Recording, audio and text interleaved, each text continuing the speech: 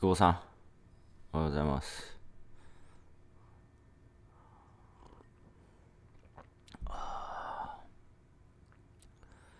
朝のコーヒーにしましょうか、今回。みんな、あの、班長ね、ビール一杯みたいな。僕、朝のコーヒーからの朝風呂ですね。朝のコーヒーからの朝風呂にしましょうか。僕の結構日課なんですけど。朝のコーヒー。最近ね、ちょっと散歩ね、寒すぎてね、行けてないんですけど。めっちゃ寒いですね、朝。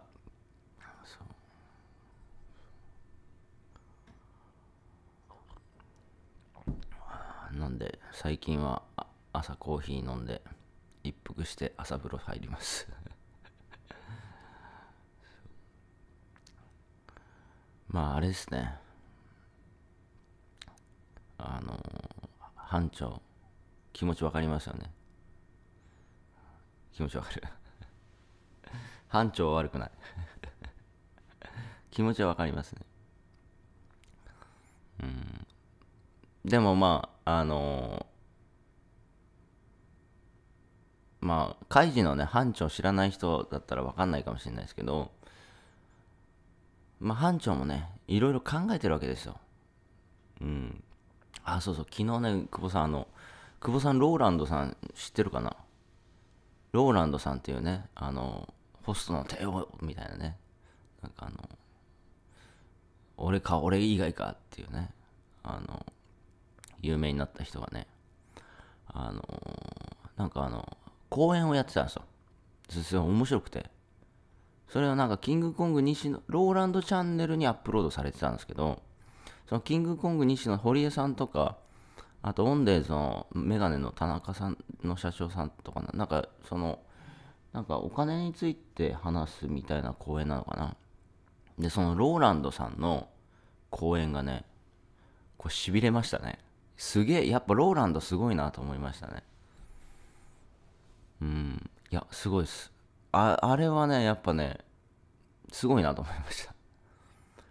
うん。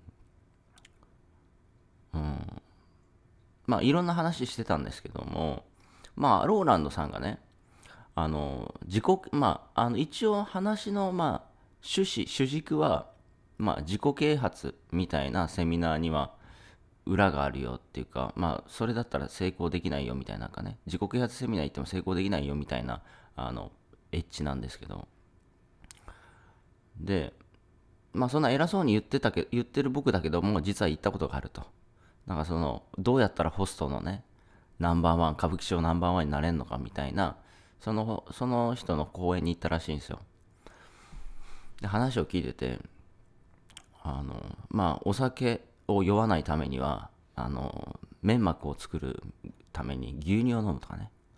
あと、女をこう、口説くためにはどうだとか、いろんなテクニックだったりとかね、ノウハウだったりとか、考え方とかなんか話してたんですよね。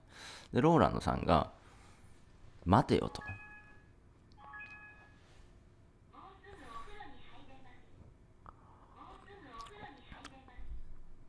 お風呂入れますね。で、そこでね、ローランドさんがね、ふとね、あの、思ったらしいんですよ。待てよと。うん。こう、酒、酒飲まなければいいんじゃないかなと。酒飲まなければ酔わないし、酒飲ま、まあ、まあ、ホストの世界だと酒を飲んで、酒を入れてもらっての売り上げじゃないですか。だけど、酒を飲むと、ね、なんだろうな、あの、車に乗れないと。でも酒を飲まなければ、酒を飲むと車に乗れない。酒を飲まなければ、車で出社ができると。で、まあ、ロールスロイス買って、そのロールスロイスで優雅に出社するみたいなね。もう差別化できるぞと。で、あと、酒飲まなければ酔わないから、うん、一定のね、一定の接客の価値を提供できると。酒飲まなきゃいいんじゃね？みたいなね。っていう、その、多分異例ですよね。酒を飲まずして売り上げを上げるっていうホストの中で。うん、で、まあ、ローランさんは一躍有名になってね、まあ、結果的に、まあ、まあ、この壇上に立ってますよね、みたいな。でもあなたは立ってないですよね、みたいな。で、ローランドさんが言うわけですよ。あの、自己啓発とか言ったりとか聞いてそのメモを取るやつはね思考停止してると。だメモを取るんだったらあのメモを取るやつは成功できないっていうメモを書いてくれみたいな。すげえトンチっすよね。成功したいんだったらあのメモを取るやつは成功できないって一言だけ書いてくださいみたいな。一言ねだ かメモを取るやつは成功できないっていうのをメモしろみたいな。お前 成功できないみたいなね。要はまああのあの考えをあの考えることだと。で成功者の話を聞いても結局思考が停止してるんだったら意味がないみたいなね。常識を疑いとかね。いろいろ言ってたんですけどまあそのお風呂ですね。そのなんだろうな。班長も班長もですよ。まあ地下で地下に落ちてね。その地下の中でどうやったら人よりねどうやったら人より金を稼いであのなんだあのペリカ。ペリカを人よりどうやって稼いでで稼いだら50万ペリカ稼ぐと、まあ、1日出れるわけですよ。だから人よりどうやったら稼いでペリカ稼いで、外出できるのかっていうのを考えたわけですよ。人よりね。そう。でも多くの人は考えないわけですよね。でも考えてまあそのあのなんだササイコロを作ったわけですからね。そう。まあそのあのサイコロはまあ良くないんですけど。でも考えてるわけですよ。つまり考えていろんな施策をしていろんなことをやってで行き着いたのがその賭博でこのサイコロを作るみたいなね。四五郎祭を作るみたいな。でも他の人は考えないわけですよね。うん。だからその班長が他の地下の人たちと差が出た。他の人の人よりあの外出ができる。その理由は考えて実行したからなんですよ。うん。だからまあ本当にそうだなと思いましたね。だからローランドさんの話聞いててまあマジでそうだなと思いますね。うん。そう。んと成功す成功したいであるならば考えるってことですよね。人と差別化をする。そのためにはどうすればいいのかって考える、うん、まあ僕も考えていないようで考えてますからだから動画の本数も大量にアップロードするのもまあ確かにねあのもなんだろうなあの非効率に見えるかもしれないしあの、なんか普通じゃないと思うんですよ。2万本アップロードするとか。だけどじゃあ2万本アップロードする10万本アップロードする100万本アップロードしたらその先のメリットって何かあるのかなって考えてる考えたわけですよね。でそしたらまあ実際久保さんもアナリティクス見れると思いますけどもまあそのちょいちょいアクセス来るわけじゃないですか。だから動画をたくさんアップロードするメリットって何なんだろうと。まあいっぱい動画を撮って喋るので自分のスキルもアップするし、まあ資産もね増えていくし、まあアクセスを稼げる資産ですよね。アクセス稼げる資産も増えていくし。だ1本あたりの再生数は少なかったとしても、あの100アクセスぐらい集め集めてくれる動画が、100アクセスを集めてくれる資産が、あじゃあね、1万個でも2万個でもあったらどれぐらいのトラフィックトータルで集,、ま、集められますかって話ですし、まあ、実際に動画をいっぱいアップロードすることしたして思ったのがやっぱそのここまでやってる人がいないのでやっぱ圧倒的な差別化本当に口だけじゃなくてやってるなこの人っていうそこに信頼が生まれたりとかだからまあねなんか根性論でね、うりゃーってやってるように見えるかもしれないですけど、実は考えてますからね。なんでこういう戦略を取ってるのかっていうのは考えてやってますから。うん。だからやっぱ考えるって大事ですよね。うん。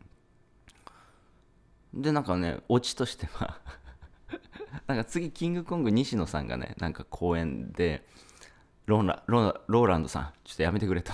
順番考えてくれみたいなね次の公演でね、俺はメモを取れと。全部メモ取れって言おうと思ってたのに、メモを取るなと。やめてくれみたいな。面白かったですね。いや、あれね、結構僕、いろんな話聞いたんですけど、やっぱすげえエッチ聞いてたなと思いますね。うん。で、僕もそのメモ取らないんですよ。だなんか、その、なんか、なんだ、夢をね、紙に書けみたいなのあるじゃないですか。うん。で、あの、ぶっちゃけ言うと、それも疑うんですよね。うん、夢とか目標を紙に書くぐらい紙に書かないといけないぐらいの夢とか目標なのと。本当に心からね、夢とか目標を持ってるんだったら、別に紙に書かなくてもずっと常に思ってるわけじゃないですか。紙に書く必要ないよね、と。そうじゃないですか。だって本当に心から思ってるんだったら、心に刻まれてるので、別に紙に映し出す必要はないんですよ。だけど、紙に書けみたいなね。久保さん、ちょっと切れちゃいましたね。まあちょっと続けましょうか、今回は。そう。なんだ紙とか、うん、そそれも疑うわけですよ。あの紙紙に書くぐらいいや紙に書かないとダメなのみたいな。うん。だけどみんな紙に書くわけですよね。夢とか目標を。紙に書かないといけないみたいなね。紙に書くと願いが叶うみたいなね。アホかと。刻めと。心に刻めと。そう。そんなあの毎日ね紙を見ないと達成できない夢とか目標なんつうのは所詮その程度だと。紙に書かないぐらい日々思って日々行動してればそんなのそっちの方が強いよと。っていう考えるわけですよ、ね、もちろんそのうまくいってる人の話を素直に聞いて実践するっていうことも大事なんですけどももっと大事なのは考自自ら答えを出して自らそれをテストして実行していくっていうことが大事なのかなと思います。だから素直にやりつつも疑い疑うし考えるしっていうあこれねバランス感覚が非常に難しいんですけどね、うん、だから成功していない人があの考えた出した答えってちょっと答えじゃなかったりもするのでだからこれ非常に難しいですけどね。多分ねローランドさんはもともとそのいろんななんか体験とかしてきてそのその答えのそのなんだ精度が高かったんでしょうね。でもこれね稼げてない人じゃマインドがない人サラリーマンの人例えばあの愚痴を言っている会社の愚痴を言ってなんだこれみたいな言ってる人が考えた答えって、まあ、考えてるけど成功の答えには遠い答えを出したりしてるんですよ。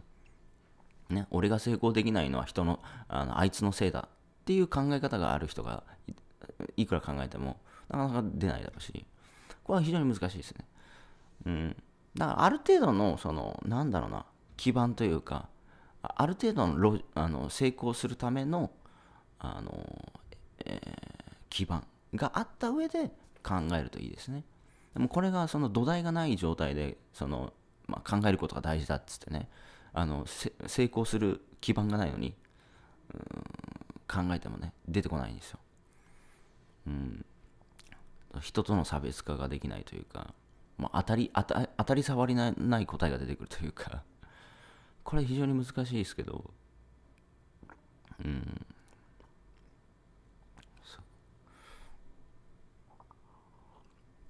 だ今の話で言うならば、久保さんは基盤がある程度あったわけですよ。で、基盤って何かっていうと、他の人がやっていない基盤ですね。例えば自分でビジネスをやっていた。あの一応まあ赤字だったけど、麻雀店を一応切り盛りしていた。これは人がやってないことが基盤やってたっていう。だそこに対していろんな悩んだし、いろんなこと考えただろうし。まあ、あとはそのハワイで石売ってみたっていう経験だったりとか、なんだ、網戸をね、網戸を売るとかね、網戸で100万稼ぐとかね、まあそういう人が出せないような結果、まああと刑務所にも入るとかね、なんかいろいろその人とは違う基盤があったわけですよ。だから、あの、素直に考えてやるっていうとこだったりとか、まあその中で疑問を持ってやるっていうとこで、まあその3年で1億いったのかなとは思いますね。そもそも人と違う基盤はあったと。うん。でもスタートラインは一緒なんですけどね。だってどんな、その基盤はあったとしても、ネットビジネスは初心者ですから。うん。そう。まあいろいろ申し上げましたけど、とりあえずローランドさんのね、良かったですね。あれはね、めちゃくちゃ良かったですね。すげえな、やっぱ、ローランドがやっぱね、あのー人から支持されるっていうのはやっぱね、そういうとこだなと思いますね。うん。すごいですね。うん。久しぶりにしびれた公演、しびれた話を聞きましたね。しかもそれもわかるんで、伝えたいことが 非常に、うん、その通りだみたいなね。でもその通りなんだけども、それをやっぱあの場所でしっかりと大衆に伝えられるっていうのがすごいなと思いましたね。うん。